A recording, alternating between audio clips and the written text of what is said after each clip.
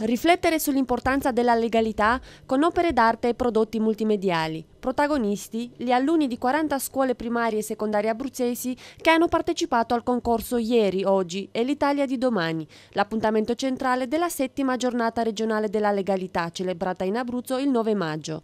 Obiettivo principale?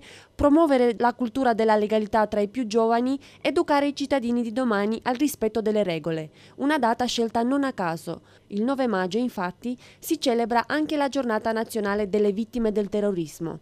La giornata regionale della legalità è stata intitolata alla memoria del magistrato abruzzese Emilio Alessandrini, ucciso il 29 gennaio del 1979 da militanti dell'organizzazione comunista Prima Linea perché è giusto parlare di questo argomento sempre ed era giusto avere una giornata della legalità.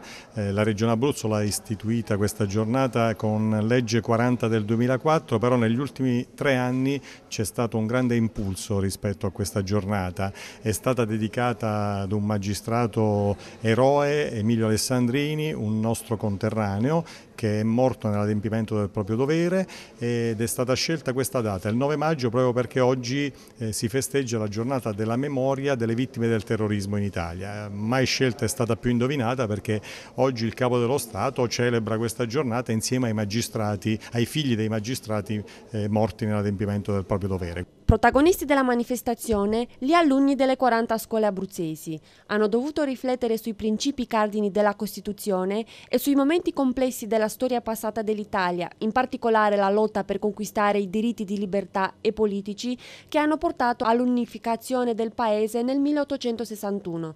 Oggi sono stati premiati i vincitori. L'Istituto Comprensivo Ciampoli di Attessa, la Scuola Media Antonelli Croce e l'Istituto Tecnico Acerbo di Pescara. Cinque menzioni speciali, di cui due per il liceo scientifico Alessandro Volta di Francavilla al Mare, altre tre menzioni per il liceo artistico dell'Aquila, il liceo ginnasio d'Annunzio e il liceo scientifico di Pescara.